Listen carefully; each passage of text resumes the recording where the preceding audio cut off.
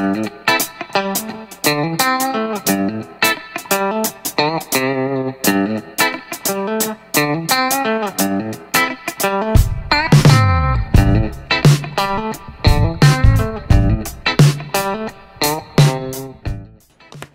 い、皆さんこんにちは。コムガレージの原田です。え今日は、え最新の SEO 事情を説明したいと思います。まず、えー、パソコンにですね、ゆるキャラ制作というふうにこのように検索しましたら、え、画面上に出てくるんですけれども、え、このクライアントさんですけど、えここはどうして上がってきたかというと、えページの総数をですね、このような形でタイトル、ディスクリプション、えキーワードというのをですね、きちっと整理してやることによって、え上位表示をすることができます。で、トップページのみならず、こういう各仮想ページもですね、やはり同じように、このページにはえ何が書いてあるんだよ、どういうページだよっていうのをきちっとですね、Google の検索エンジンのロボットに、え知らせてあげる必要があります。で、これをすることによって、えー、当初ですね、えー、やった時は22位ぐらいの検索順位だったんですけれども、今は、えー、最高位3位まで、え SEO の結果っていうのが、え出てくるようになりました。ですから、あの、この各ページを最適化するっていうことがいかに大事かということが、